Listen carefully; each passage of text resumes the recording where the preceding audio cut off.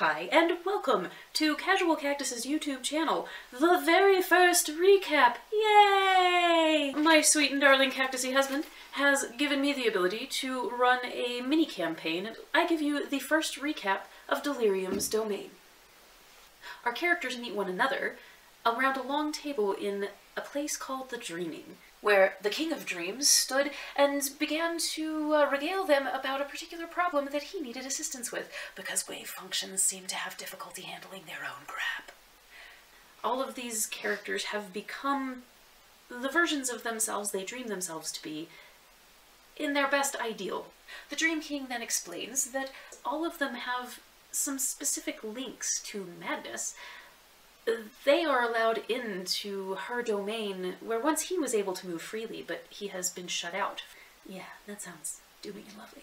With the instructions and backstory that the Dream King has given them, they return to the gate of the Maze of Regrets, where one of the characters, Janice, has stood faithful guard for a long, long time. After a brief moment for uh, Janice to realize that the door he is accustomed to guarding is now far more damaged and a wee bit squeakier and creakier than it used to be.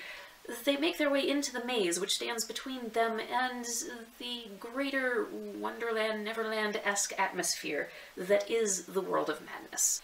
As they moved forward, they encountered several different interesting life choices that both involved direction and how to handle specific obstacles set in their path. They find some interesting puzzles and some interesting characters. One of these obstacles was a large stone that they had to figure out how to move. One of my characters happens to have animate object and was able to make the giant stone get up and walk away.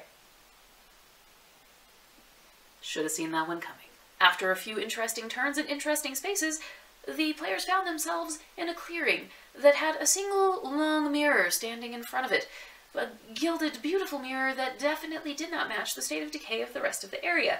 After hanging the mirror on the incorrect wall of the maze, doppelganger-ish reflections of the party came out of the mirror and attacked. This would be a nice time to mention that throughout this maze, my players had to make wisdom saves. Why? Because madness. Some of them did better than others. Claudius struggled a bit more than your average bear with his wisdom saves, leading him to believe that even though the party defeated the mirror party, one of these party members he thinks is an impostor now. Oh, poor Henry. Poor, poor Henry. After successfully subduing the false party, the real party hung the mirror on the correct wall and was able to proceed forward, where they then effectively met a slightly different version of a devourer. The devourer, um, living up to his name, did manage eventually to devour Henry, which I'm sure had he actually had a chance to notice, Claudius probably would have been excited about, but he was distracted by the fact that devourer. After subduing the beast, it seemed that Claudius needed to subdue Henry. He failed at this thanks to some quick thinking on my uh, my party's uh, part. My party's part. but thanks to some some quick thinking by Janice, they were able to rid him of his madness temporarily, at least, and continue forward into the maze, where they saw a small door. And then hearing sounds that were strangely similar to the sounds of the fire swamp in Princess Bride. And I guess that's really where we left off. Thank you for joining me for this quick recap. We'll also be uploading some character diaries, one a week featuring a different character retelling the story of what just happened from their perspective. Should be interesting and a little bit different from what I'm giving you. Enjoy that.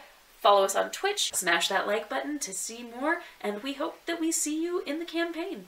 Until then, grab your bats, grab your balls, and just remember, when you have a hammer, everything looks like a glass house. Bye, guys!